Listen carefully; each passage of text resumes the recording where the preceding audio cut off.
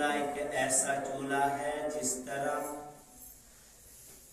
ਇੱਕ ਕਮਰਾ ਹੈ ਕਮਰੇ ਦੇ ਨਾਲ ਅਸੀਂ ਪੌੜੀ ਲਗਾ ਦਿੰਦੇ ਹਾਂ ਔਰ ਕਮਰੇ ਦੀ ਸੱਤ ਤੇ ਜਾਣ ਲਈ ਪੌੜੀ ਦੇ ਪਹਿਲਾਂ ਅਸੀਂ ਪਹਿਲੇ ਡੰਡੇ ਤੇ ਪੈਰ ਫਿਰ ਦੂਸਰੇ ਡੰਡੇ ਤੇ ਪੈਰ ਰੱਖਦੇ ਹਾਂ ਫਿਰ ਤੀਸਰੇ ਡੰਡੇ ਤੇ ਪੈਰ ਰੱਖਦੇ ਹਾਂ ਇਸ ਤਰ੍ਹਾਂ ਅਸੀਂ ਸਟੈਪ ਬਾਈ ਸਟੈਪ ਆਖਰੀ ਡੰਡੇ ਤੇ ਚਲੇ ਜਾਂਦੇ ਹਾਂ। ਜਦੋਂ ਅਸੀਂ ਆਖਰੀ ਡੰਡੇ ਤੇ ਚਲੇ ਜਾਈਏ, ਤਾਂ ਕੋਸ਼ਿਸ਼ ਕਰੀਏ ਜਿੱਥੇ ਇਤਨੇ ਡੰਡੇ ਚੜੇ ਹੁੰਦੇ ਨੇ, ਮਕਾਨ ਦੀ ਛੱਤ ਦੇ ਉੱਪਰ ਵੀ ਜਾ ਸਕਦੇ ਹਾਂ। ਵਰਨਾ ਜੇਕਰ ਉੱਪਰਲੇ ਡੰਡੇ ਤੋਂ ਜਾ ਕੇ ਪੈਰ ਫਿਸਲ ਜਾਏ, ਅਸੀਂ ਥੱਲੇ ਡਿੱਗ ਜਾਂਦੇ ਹਾਂ। ਸਾਨੂੰ ਦੁਬਾਰਾ ਪੌੜੀਆਂ ਚੜ੍ਹਨੀਆਂ ਪੈਂਦੀਆਂ ਹਨ। ਠੀਕ ਇਸੇ ਤਰ੍ਹਾਂ ਇਹ ਜੋ ਇਨਸਾਨੀ ਚੋਲਾ ਹੈ 84 ਲੱਖ ਜੂਨ ਦਾ ਆਖਰੀ ਡੰਡਾ, ਅਸੀਂ ਕਦੀ ਕਿਸੇ ਜੂਨ ਚੋਂ ਨਹੀਂ, ਕਦੇ ਕਿਸੇ ਜੂਨ ਚੋਂ ਨਹੀਂ ਹੁੰਦੇ ਹੋਏ ਇਨਸਾਨੀ ਚੋਲੇ 'ਚ ਆਏ ਹਾਂ। ਹੁਣ ਇਹਦੇ ਵਿੱਚ ਆ ਕਰਕੇ ਅਗਰ ਇਨਸਾਨ ਚਾਹੁੰਦਾ ਹੈ ਮੈਂ ਪ੍ਰਭੂ ਨਾਲ ਮਿਲਣਾ ਹੈ ਮਿਲ ਸਕਦਾ ਹੈ। ਅਗਰ ਇੱਥੇ ਵੀ ਆ ਮਨ ਦੇ ਅਧੀਨ ਹੋ ਜਾਂਦਾ ਹੈ, ਵੀ ਵਿਕਾਰਾਂ ਚ ਫਸ ਜਾਂਦਾ ਹੈ।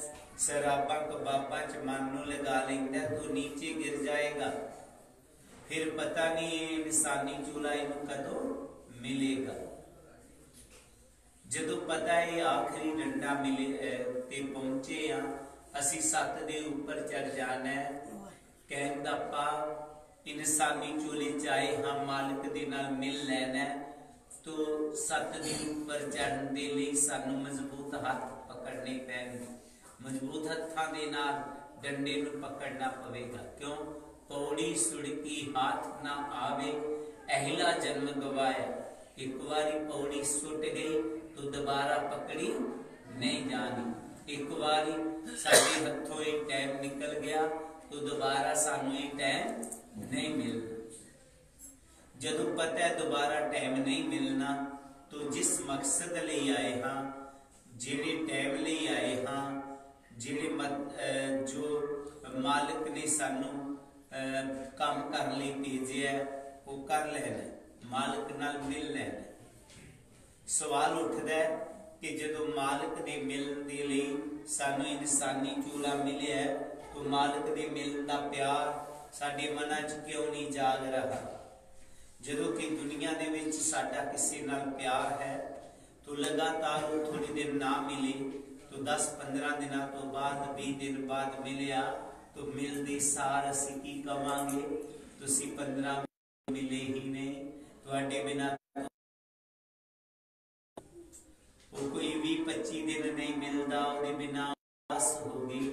ਪਰ ਰੱਬ ਨੂੰ ਕਿੰਨਾ ਸਮਾਂ ਹੋ ਗਿਆ ਉਹਦੇ ਬਿਨਾਂ ਅਸੀਂ ਉਦਾਸ ਕਿਉਂ ਨਹੀਂ ਹੋਏ ਇਹਦਾ ਕਾਰ ਦਿਨ ਦੇਖੇ ਜੀਨੇ ਜੋ ਦੀਸੇ ਸੋ ਹੋਏ ਵਿਨਾਸਾ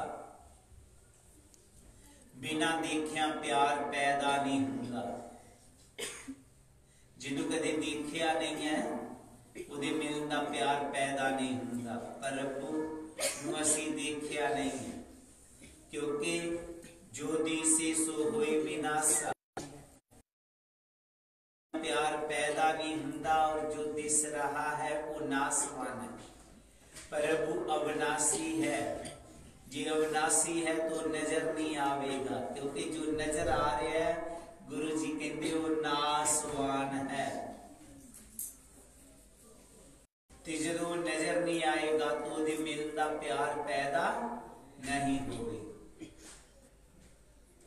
ਹੁਣ ਇੱਥੇ ਅਸੀਂ ਇੱਕ ਬਹੁਤ ਵੱਡੀ ਕੁੰਮਨ ਕੀਰੀ ਚ ਫਸ ਜਾਂਦੇ ਕਿ ਜੀਵ ਕੀ ਉਪਾ ਕਰੇ ਕਿ ਪ੍ਰਭੂ ਦੇ ਮਿਲਣ ਦਾ ਪਿਆਰ ਇਹਦੇ ਮਨ ਚ ਜਾਗ ਪਵੇ ਜੋ ਅਸੀਂ ਇੱਥੇ ਕੁੰਮਨ ਕੀਰੀ ਚ ਫਸ ਜਾਂਦੇ ਹਾਂ, ਸਤਿਗੁਰੂ ਜੀ ਸਾਨੂੰ ਉਸ ਕੁੰਮਨ ਕੀਰੀ ਚੋਂ ਬਾਹਰ ਕੱਢ ਦੇ। ਆਪ ਕਹਿੰਦੇ ਨੇ, ਬਰਨ ਸਹਿਤ ਜੋ ਜਾਪੈ ਨਾਮ, ਸੋ ਜੋਗੀ ਕੇਵਲ ਨੇ ਕਾ ਜੋ ਪ੍ਰਭੂ ਦੀਆਂ ਸਿਫਤਾਂ ਨੂੰ ਜਾਣ ਕੇ ਪ੍ਰਭੂ ਦੇ ਗੁਣਾਂ ਨੂੰ ਜਾਣ ਕੇ ਉਹਦੇ ਨਾਮ ਦਾ ਸਿਮਰਨ ਕਰਦਾ ਹੈ ਨਿਸਕਾਮਨਾ ਦੇ ਨਾਲ। ਜਿਹਦੇ ਮਨ ਵਿੱਚ ਕੋਈ ਕਾਮਨਾ ਨਹੀਂ ਹੈ, ਉਹ ਇਸ ਵਾਸਤੇ ਨਾਮ ਨਹੀਂ ਜਪਦਾ, ਮੈਨੂੰ ਪੈਸਾ ਮਿਲੇ। ਉਹ ਇਸ ਵਾਸਤੇ ਜਪਦਾ ਕਿ ਮੈਨੂੰ ਧੀਆਂ ਪੁੱਤਰ ਮਿਲ। ਇਥੋਂ ਤੱਕ ਜਿਹਦੇ ਮਨ ਚ ਵੀ ਸੋਚ ਨਹੀਂ ਆਈ ਕਦੀ ਕਿ ਜੋ ਮੈਂ ਨਾਮ ਜਪ ਰਿਹਾ, ਪਤਾ ਨਹੀਂ ਗੱਲ ਲੇਖੇ ਚ ਲੱਗਣੀ ਹੈ। ਕਿ ਨਹੀਂ ਲੱਗਣੀ ਜੋ ਆਪਣਾ ਇੱਕ ਫਰਜ਼ ਸਮਝ ਕੇ ਮਾਲਕ ਦਾ ਨਾਮ ਜਪਦਾ ਹੈ ਉਹ ਪੂਰਨ ਸੰਤ ਹੈ ਉਹ ਸੰਤ ਹੈ ਉਹਦੀ ਬਾਬਤ ਗੁਰੂ ਜੀ ਨੇ ਕਿਹਾ ਸਾਧਕ ਜਿਹੜਾ ਸੰਤ ਹੈ ਉਹ ਪ੍ਰਭੂ ਦਾ ਰੂਪ ਹੈ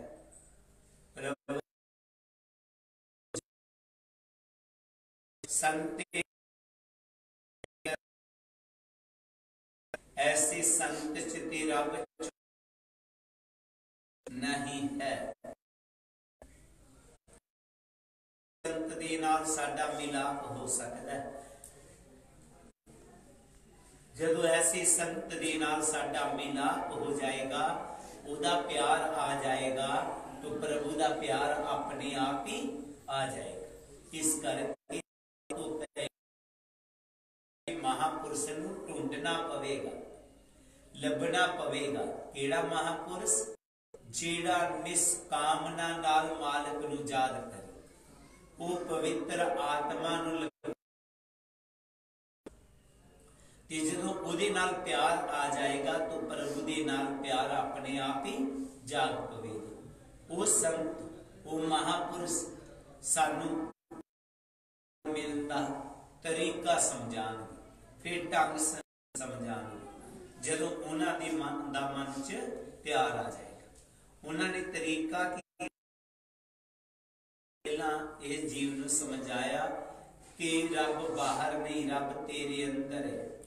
ਕਾਬੇ ਔਰ ਇਲਾਸ ਸਮੇਂ ਜਿਸ ਕੋ ਢੂੰਡਨ ਜਾਏ, ਰਵਦਾਸ ਪਿਆਰਾ RAM ਤੋ ਬੈਠੀ ਹੈ ਮਨ ਮਾਈ। ਐ ਇਨਸਾਨ ਜਿਸ ਪਰਮਾਤਮਾ ਨੂੰ ਤੂੰ ਲੱਭਣ ਦੇ ਵਾਸਤੇ ਕਾਬੇ ਔਰ ਕਿਲਾਸ ਪਰਬਤਾਂ ਤੇ ਜਾ ਰਿਹਾ ਉਹ ਬਾਹਰ ਕਿਤੇ ਨਹੀਂ ਤੇ ਜਦੋਂ ਅਸੀਂ ਫਿਰ ਬੜਾ ਮੁਸ਼ਕਲ ਨਹੀਂ ਕਿਉਂਕਿ ਅੱਜ ਕੱਲ ਅਲਟਰਾਸਾਊਂਡ ਸਕੈਨ ਮਸ਼ੀਨਾਂ ਆ ਗਈਆਂ ਨੇ ਦੱਸ ਨੇ ਕਈ ਵਾਰੀ ਉਹ ਮਿਸਾਲ ਦਿੱਤੀ ਹੈ ਸਾਡੇ ਅੰਦਰ ਰਹਿ ਰਿਹਾ ਹੈ ਕਿਆ ਜ਼ਰੂਰਤ ਸਾਨੂੰ? ਮਹਾਪੁਰਸ਼ਾਂ ਦੇ ਪੀਸੇ ਪੀਸੇ ਘੁੰਮਣ ਫਿਰ ਤਾਂ ਬੜਾ ਆਸਾਨ ਕੰਮ ਹੈ।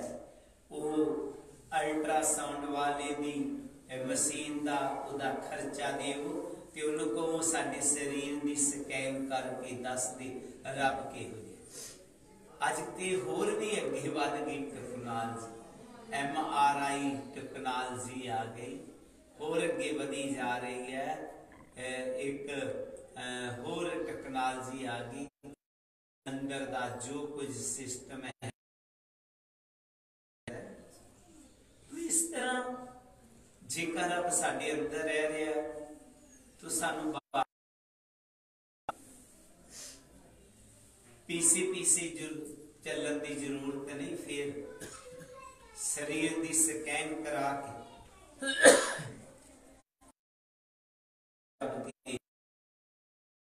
ਪਰ ਅੱਜ ਕਿਸੇ ਅਲਟਰਾਸਾਊਂਡ ਵਾਲੇ ਚਾਹੇ ਹੋਰ ਜਿਹੜੀਆਂ ਸਕੈਨ ਕਰਦੇ ਨੇ ਐਮਆਰਆਈ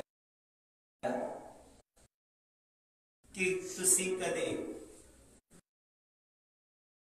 ਕਰਦੇ ਰੱਬ ਵੀ ਤੂੰ ਜਵਾਬ ਲਿਆ ਕਿ ਉਹ ਨਹੀਂ ਰਿਹਾ ਜੇ ਰਹਿ ਰਿਹਾ ਤੇ ਉਹਨਾਂ ਨੂੰ ਲੱਭਣਾ ਚਾਹੀਦਾ, ਉਹਨਾਂ ਨੂੰ ਨਹੀਂ ਲੱਭਿਆ। ਤੇ ਜੇ ਫਿਰ ਲੱਭੇਗਾ ਤੇ ਕਿਸ ਤਰ੍ਹਾਂ ਲੱਭੇਗਾ?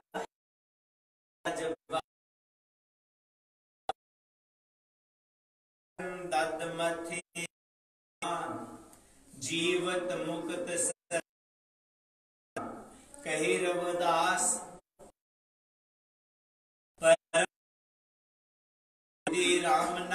ਨਾ ਜਪਸਿਆ ਜਿਸ ਤਰ੍ਹਾਂ ਦੁੱਧ ਦੇ ਵਿੱਚ ਘਿਓ ਹੁੰਦਾ ਹੈ, ਫੁੱਲਾਂ 'ਚ ਖੁਸ਼ਬੂ ਹੁੰਦੀ ਹੈ। ਪਰ ਜੇ ਅਸੀਂ ਇਸ ਤਰ੍ਹਾਂ ਉਹਨੂੰ ਲੱਭਣਾ ਚਾਹੀਏ, ਤੇ ਨਾ ਤੇ ਫੁੱਲਾਂ 'ਚ ਖੁਸ਼ਬੂ ਲੱਭੇਗੀ, ਤੇ ਨਾ ਦੁੱਧ 'ਚੋਂ ਘਿਓ ਲੱਭੇਗਾ। ਪਰ ਜੁਗਤੀ ਦੇ ਨਾਲ ਉਹ ਘਿਓ ਮਿਲ ਜਾਂਦਾ। ਔਰ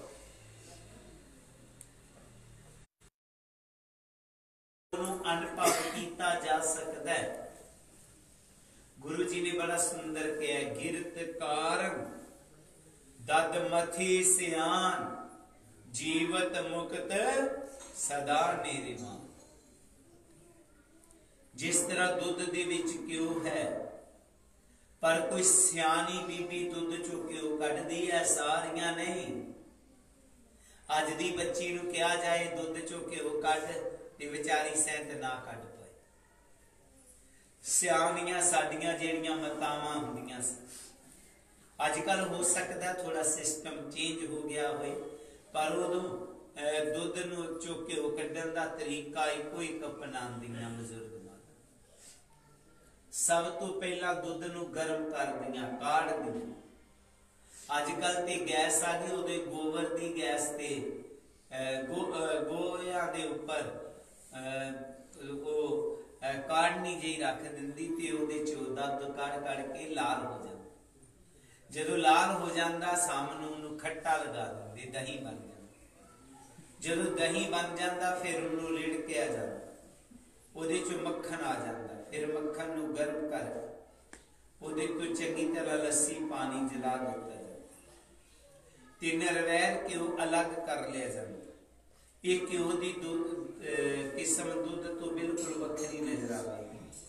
ਦੁੱਧ ਸਵੇਰੇ ਚੋ ਸ਼ਾਮ ਨੂੰ ਖਰਾਬ ਹੋ ਜਾਂਦਾ ਕਿਉਂ ਜਿਤਨੀ ਦੇਰ ਤੱਕ ਮਰਜ਼ੀ ਪਿਆਰੇ ਖਰਾਬ ਨਹੀਂ ਦੁੱਧ ਦੇ ਵਿੱਚ ਨਮਕ ਪਾਓਗੇ ਗੁਲ ਜਾਏਗਾ, ਕਦੀ ਘਿਓ ਦੇ ਵਿੱਚ ਨਮਕ ਪਾ ਕੇ ਦੇਖਣਾ, ਕਦੀ ਨਹੀਂ। ਗੁਲਦਾ ਦੁੱਧ ਦੇ ਵਿੱਚ ਕਾਗਜ਼ ਪਾਓਗੇ, ਗਲ ਜੇਗਾ ਕਦੀ ਘਿਓ ਦੇ ਵਿੱਚ ਕਾਗਜ਼ ਪਾ ਕੇ ਦੇਖਣਾ, ਕਦੇ ਨਹੀਂ। ਗਲਦਾ ਬਿਲਕੁਲ ਵੱਖਰੀ ਕਿਸਮ ਹੋਗੀ ਪਰ ਪ੍ਰਾਪਤ ਕਿਹਦੇ ਚ ਹੋਇਆ ਦੁੱਧ ਚ। ਜਿਸ ਤਰ੍ਹਾਂ ਉਹ ਦੁੱਧ ਚ ਕਿਉਂ ਹੈ, ਉਸੇ ਤਰ੍ਹਾਂ ਸਾਡੇ ਅੰਦਰ ਪਰਮਾਤਮਾ ਹੈ। ਪਰ ਇਹਨੂੰ ਵੀ ਪਹਿਲਾਂ ਕਾੜਨਾ ਪਵੇਗਾ। ਕਾੜਨ ਦਾ ਭਾਵ ਸਤ ਸੰਗਾਂ 'ਚ ਜਾਣਾ ਪਵੇਗਾ। ਬਾਣੀਆਂ ਨੂੰ ਪੜਨਾ ਪਵੇਗਾ।